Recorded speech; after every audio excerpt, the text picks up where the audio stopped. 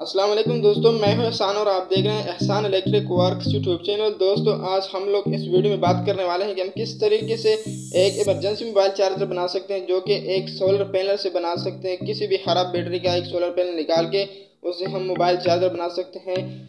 کیونکہ ہم اکثر کہیں شیر پہ جاتے ہیں یا کہیں اور سفر پہ جاتے ہیں تو ہمارے موبائل میں چارج نہیں ہوتی تو آپ ایزیلی اس کو ایک سورج کی مدد سے صرف اس کو چارج کر سکتے ہیں آسانی کے ساتھ۔ چلیے دوستو، اس کو شروع کرتے ہیں شروع کرنے سے پہلے اگر ابھی تک آپ نے ہمارے اس یوٹیوب چینل کو سبسکرائب نہیں کیا تو پلیز سبسکرائب کریں اور بیل آئیکن کو بھی پریس کریں تاکہ آپ کو ہمارے ہر نئی آنے والی ویڈیو کا نوٹیفکیشن ڈیلی ملتے رہے۔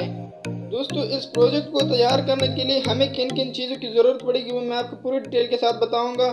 اور اس کے بعد میں آپ کو ایک کنیکشن ڈیگرام دے دوں گا اسکرین کے اوپر، آپ اسے جا کے اسکرین شاٹ لے کے اس کو آسانی کے ساتھ بنا سکتے ہیں۔ جیسے کہ میرے پاس ٹارچ ہے، اسی طرح میں نے ایک خراب ٹارچ کا سولر پینل لے لیا، جیسا آپ کو نظر آ رہا ہوگا۔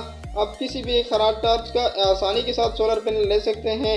اور اس کے بعد میں نے اٹھتر زیرو فائیو کے دو ٹرانزسٹر لے لیے ہیں، جیسے کہ آپ کو نظر آ رہے ہیں۔ اور ٹرانزسٹر کے بعد آپ نے ایک پچیس وولٹ بائیس مائکرو فیرڈ کا کیپیسٹر لے لینا ہے، جیسے کہ یہ آپ کے ان پٹ میں کام کرے گا۔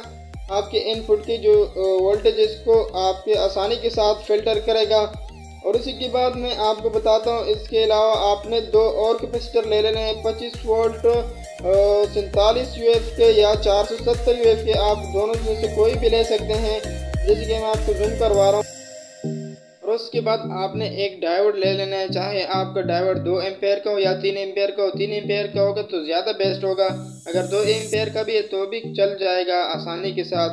اب اس کے بعد آپ نے اس پروجیکٹ کو تیار کر لینا ہے۔ اور پروجیکٹ کو جو تیار کرنے کا طریقہ ہے، میں آپ کو بتاتا ہوں۔ جیسے کہ اس کے اندر میں نے دو ٹرانزسٹر اور تین کے کیپیسٹر ایک ڈائیوڈ کو یوز کیا اور ایک سولر پینل کا۔ اس کے بعد آپ نے ایک ٹرانزسٹر کو لے لینا ہے، اس کے تینوں جو حصے ہیں، تینوں جو کنیکشن آپ نے الگ کر لینے ہیں۔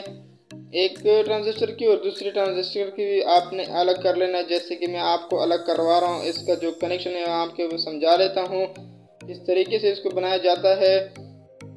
اس ٹرانزسٹر کو آپ نے دونوں کو ایک ساتھ اٹیچ کر لینا ہے، جو کہ آپ کے ایمپیر کو بڑھائے گا جیسے کہ ایک ٹرانزسٹر ایک ایمپیر کا ہوتا ہے، دوسرا ٹرانزسٹر دو ایک ایمپیر کا ہو گیا۔ تو آپ کے دو ایمپیر بن چکے ہیں۔ اسی طریقے سے آپ نے یہ جو کیپیسٹر یہ آؤٹ پٹ پہ لگا لینے ہیں، پچیس وولٹ، سات سو چالیس مائکرو فیرڈ یا سینتالیس کے۔ اور اس کے بعد آپ نے بائیس ہوئی پچیس وولٹ کا کیپیسٹر یوز کرنا ہے۔ اور اسی کے بعد یہ ڈائیوڈ آپ نے لگا لینا جو کہ آپ کے موبائل میں الٹا کرنٹ نہ جا سکے یعنی پلس کے بجائے مائنس نہ جا سکے، آپ کا موبائل خراب نہ ہو سکے۔